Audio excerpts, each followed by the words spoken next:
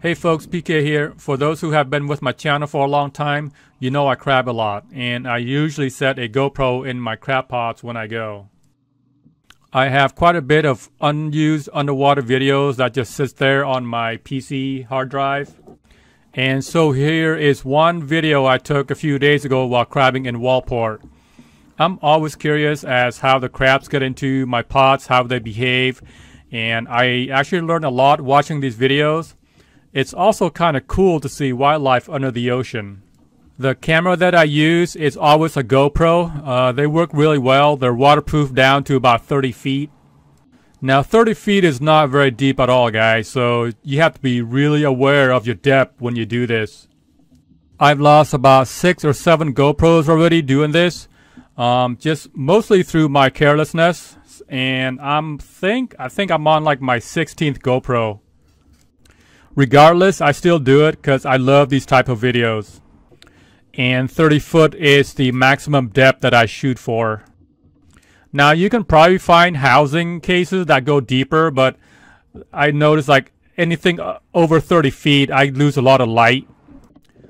Oh, and if you just saw that, somehow the camera moved.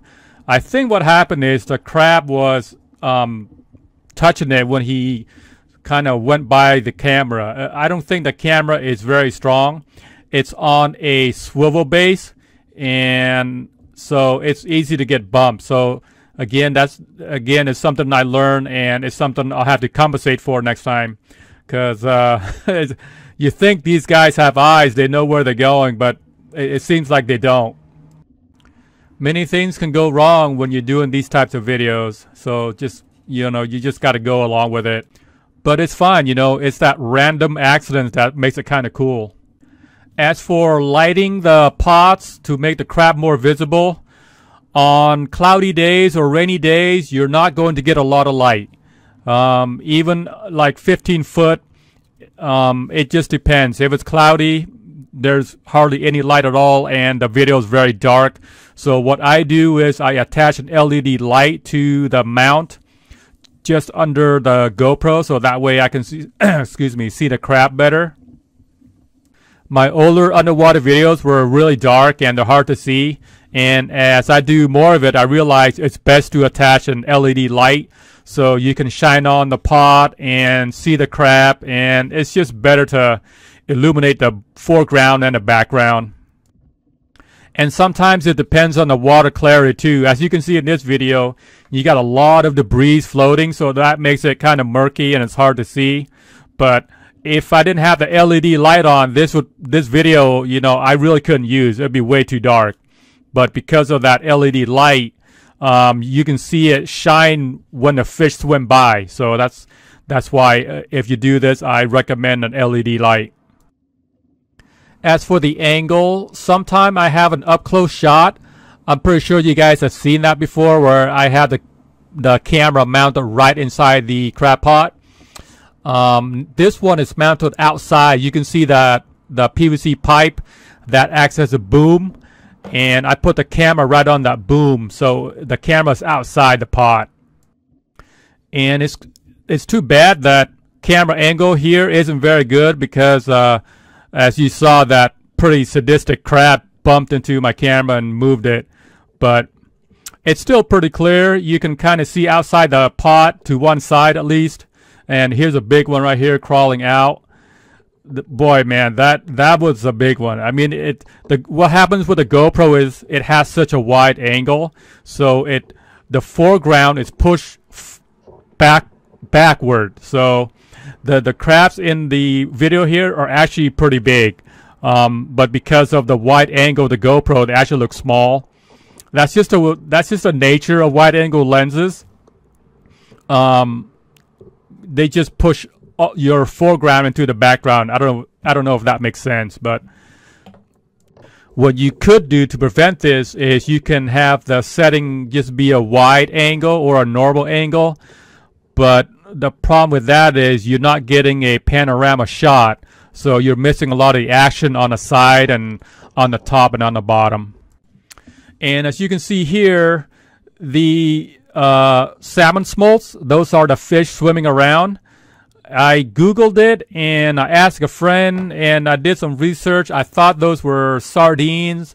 A friend of mine said they were herring, but I think I'm pretty sure those are uh, salmon smolts. Um, a friend, uh, I asked a friend and he said he, he knows a biologist for the state of Oregon and he did confirm those small fish swimming around those are salmon smolts. So that's kind of cool. It's good to see th that healthy population there. And let's focus on the lower right corner. Uh, I don't know if you can see it, but you can see these dover soles. They're a flatfish, and the soles are right on the lower right corner on, on the ground, on the sand. They're just swimming there. There's quite a bit of them. What they're doing is um, they're just feeding on the, the bait debris that's coming from the pot. As the crab feed on the bait, the chicken, little tiny debris float in the water, and that's what those soles are feeding on. Now the soles, they're pretty small, uh, but I heard from what I uh, gather from reading on the internet is that they're really tasty. So one of these days, I want to try to catch them. Oh, there's another one. You see that? It just came out from the bottom. That was a big sole. But uh, I'm gonna have to put on like a size 100 hook and maybe a piece of uh, chicken or or fish and try to catch those soles because I want to try to cook with them. Um, maybe even like a small herring jig. You know, given their small size, I'd imagine I have to catch quite a bit just to get a meal. But yeah, that looks like it's something I want to do in the future. Um, wow, as you can see, there's a lot of salmon smolt swimming around there. And just look at the pot now. Look how full it is. There's one giant crab at the top, and more are trying to get in. But the problem is, because the pot is so full, they can't get in. There's really no way more crab can fit in there. See, it's just it's just packed, and pretty big crabs too. Now I put down the pot, I believe it was under one hour, just under one hour. And as you can see, it's pretty packed. So, but they can't escape because there's just so many in there. None of it can move. There's no crab in there that can move. Okay, they kind of got themselves in a bind. And the crazy thing is, it's like late July. Usually, from my experience, you know, I've been crabbing for about 30 years here in Oregon. I've never had it this good before crabbing in early July. This this was a phenomenal trip. And as you can see to the right of the video on the ocean floor, there are lots of crabs just crawling around.